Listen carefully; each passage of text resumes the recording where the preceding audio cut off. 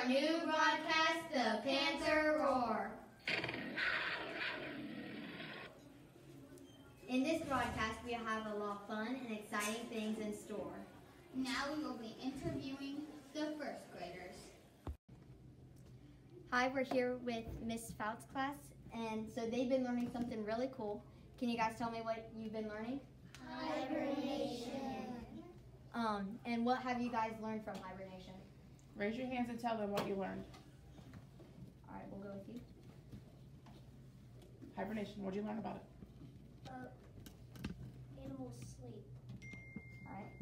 Um, that the smaller animals wake up and eat, and then they go to the bathroom and they fall back to sleep, and then the bigger ones stay asleep.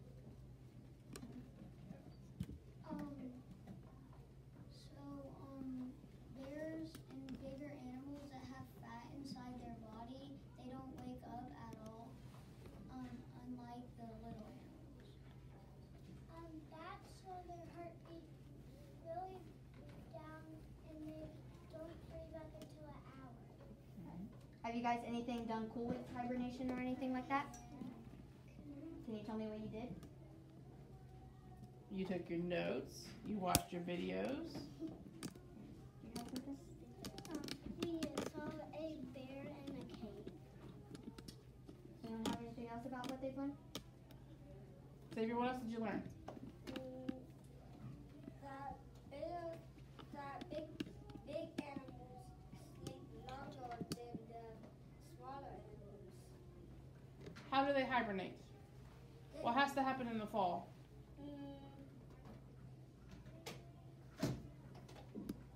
Gigi, what has to happen in the fall? Um, they have to eat a lot.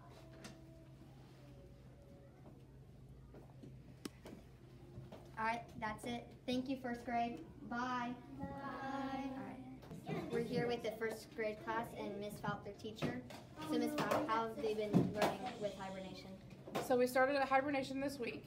We watched some YouTube videos, took some notes, and then they are going to take a test on Friday over their notes. Um, what are you guys planning on learning next? Next, we are going to learn about how the animals who don't hibernate survive in the colder climates. All right, I think that's it. Thank you. Thank you. Now we go to interview Miss Corcoran about the new high school. Hi everyone. Today I'm here with Miss Corcoran. Uh, I have some questions about the soon-to-be-built Bishop Flaget High School. So, what are your thoughts on the actual building? So our plans for the new high school will be that we will be building it out past where the chapel is now. So if you think about the chapel and then upstairs the music room, just taking the building and going that way through the teacher's parking lot, it'll actually go almost to the property line and may turn a little bit back um, like into the top part of the playground there. The part where you're not allowed to go, that'll be a building someday. Uh, are you going to be getting any new teachers? Uh, eventually, we will have to get new teachers. Um, we're actually kind of trying to look at when we will be able to have the first eighth grade class, or not eighth grade, excuse me, ninth grade class. Um, my hope was that we were going to be able to do that this year, like this coming year, so that our current eighth graders could be freshmen next year. But I don't know if that's going to happen because in order for us to start building, we have to have hundred percent of the money that we need um, pledged and fifty percent of the money raised. And right now, the cost of the program, so basically adding on to the building and then renovating the rest of the building, um, is about twelve million dollars. So we would have to have twelve million pledged and six million in the bank. So, um, I don't know if we're gonna be able to do that, you know, by the end of this year to get going. Because we can, we could keep like ninth and tenth grade in the current building. So as long as in two years, we had the new building, we'd be good to go. But the diocese, the leadership at the diocese is concerned that if we start and then we don't have the building done, then we're gonna be like, ah, what do we do? Which, I'm like, let's rent spaces at OUC, but we'll see. So that's kind of where we are right now. Uh, what type of classes are you going to be offering? So um, basically, and this is kind of my vision right now, so it could change because there are a whole lot of people involved in it. But my vision is to have like your freshman and sophomore year be very similar um, to kind of a traditional high school. So you're going to have all the same classes biologies, the different social studies, histories. Um, we have some more options available to us as far as foreign languages go. So, you know, for example, like one uh, one foreign language that I know that there's been some interest in is Latin. So we might be able to do a Latin class through um, the high schools in Columbus, do kind of a distance learning similar to what we've done with Spanish. Um, and you know, there's also people within our community who are interested in coming in and maybe teaching special classes per quarter. So my thought was work with the students and find out what you guys are interested in, and then kind of try to build additional classes into the schedule on top of what you're required to take, but ones that you're more interested in. Um, and with the high school model, you know, we're looking at some different options, like maybe starting the morning with um, mass or religion class, one of the two, um, because as you get older, when you get to your junior and senior year, my vision is to have classes where you may not be in this building all day long. So you may come here in the morning for religion class or mass, but then you may be taking a lot of classes at OUC, or you may have some courses at the vocational school that you want to take, or um, you know we want to have mentorship set up and internships. So with classes of around 25 students, there's no reason why we can't tailor your high school experience to be exactly what you want it to be. So, you know, Eleanor, what do you what do you think you might want to do outside of college when you go to college? Um, I think I would like to work in the uh, be an OBGYN nurse. Okay.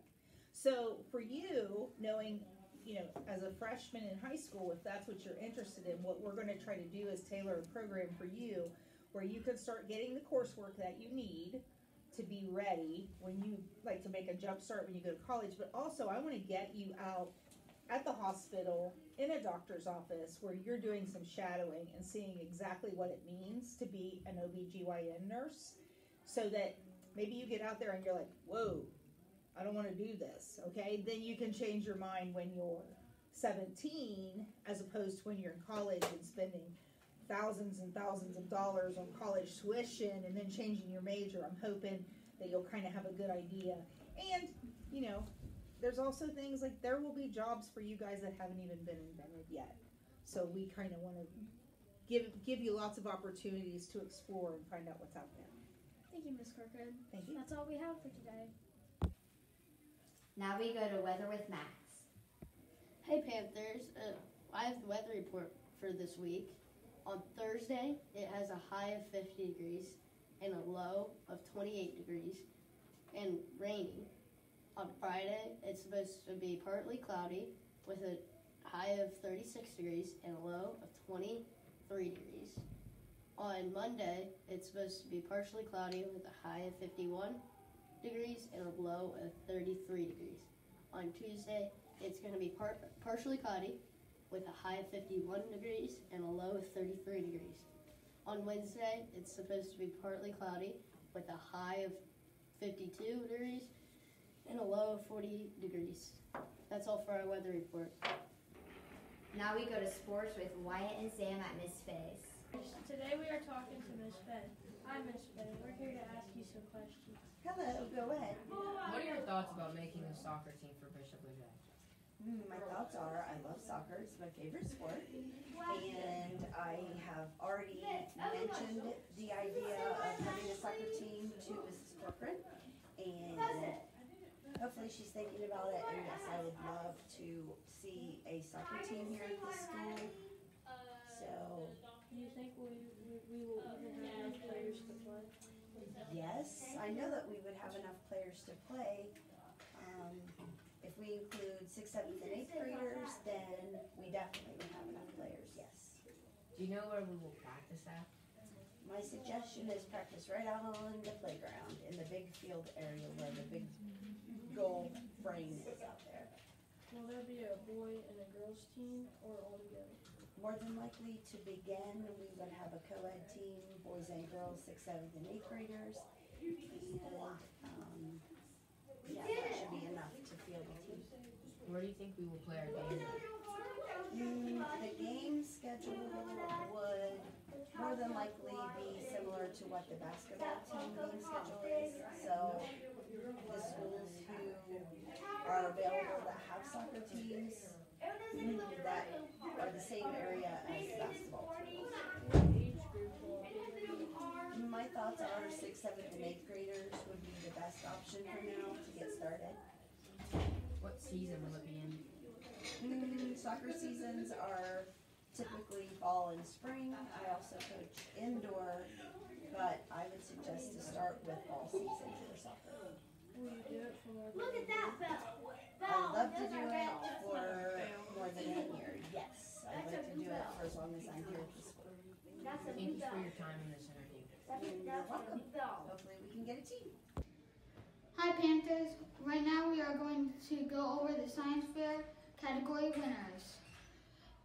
Firstly up we have Laura Crawford in chemistry, Will Thompson in energy and altern- alternative fuels, Jonathan Crawford in botany, Brian Anzana in material sciences, Kristen Fleck in physical and sports sciences, Camden Neal with behavioral sciences, Sammy Elliott with Consumer Sciences, Julia Corcoran with Hydrological Sciences, and Julia McNeil, who had a perfect score with Biological Sciences.